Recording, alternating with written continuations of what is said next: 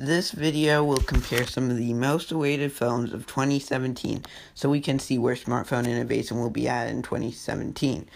But unfortunately, we can't compare the Google Pixel 2 because that was I wasn't able to find any leaks at all about that. So this will compare the iPhone 8, OnePlus 4, or maybe OnePlus 5 since 4 is an unlucky number in Asia, LG G6, Samsung Galaxy S8, and HTC 11.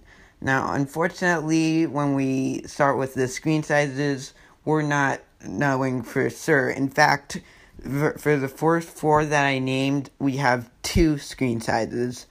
What Apple is doing in 2017 is a bit confusing. It, they are supposedly releasing four iPhones, but they may release two, might release three. We're not sure about that. However, I will just say for the screen sizes the regular and the plus model if that does happen. So the regular will be 4 point actually for the regular we have three possibilities 4.7 5 or 5.1 inches. We're not sure which one. And for the plus is 5.5 or 5.8 inches. And then another possibility of that will be 5.8 inches but only 5.2 inches of it will be usable. It's a bit complicated i guess.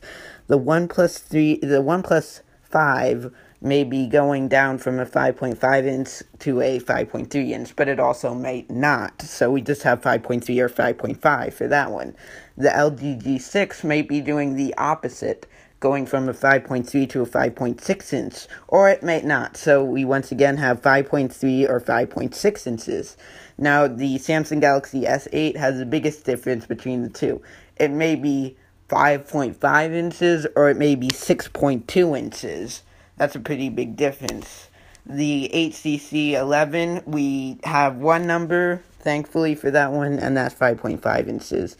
Now, the the iPhone and Samsung will both have a bezel-less display, and HTC will have a dual edge display similar to what Samsung has currently.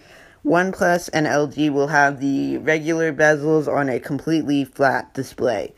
And the display technology will finally be OLED on the iPhone as well as becoming OLED on the LG and staying OLED on the Samsung as it's always been.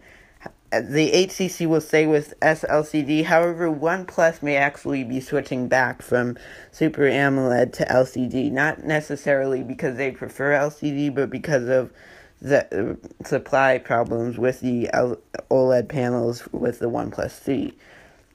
The resolution of these screens, well, we actually have two different ones. 1440p for the iPhone, OnePlus, and HTC, although the regular iPhone may be only 1080p, and 4K for the LG and the Samsung.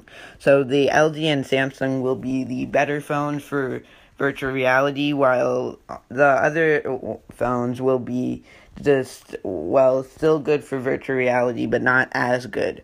The regular iPhone model may just be good in terms of um, regular usage, pretty much above 1080p. It doesn't make a difference in regular usage. So don't worry about 4K making a difference if you're not going to use VR.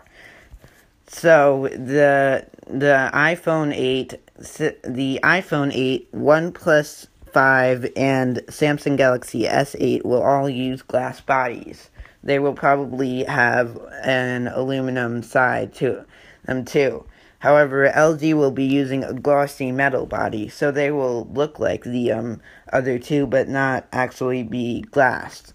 They will be metal. And the HTC 11 will look different from all the other ones keeping the same um, metal body or maybe a slightly different metal body than it has now. All of these phones will actually have come with dual cameras. However, the I, the resolutions will be different. The iPhone will have 12 megapixels. The S8 will have 12 megapixels on one camera and 13 megapixels on the other. And the HTC will have a 12 ultra pixel camera, although some other phones may have pixel sizes that are the same as ultra pixels. The OnePlus 5 will be going higher in resolution to 18 megapixels, and the LG G6 will be going even higher in resolution to 24 megapixels. The dual cameras are for different things. The iPhone 8 is actually rumored to be getting to be getting 3D video and picture, which was a feature on some older phones, but they took it away because people didn't really use it. The OnePlus, uh, whereas I guess OnePlus, Samsung, and HTC are going to use what uh, what many companies have used it for are using it for currently, including Apple, and that is one is a regular lens and one is a telephoto lens. LG will be doing, uh, I guess, the opposite.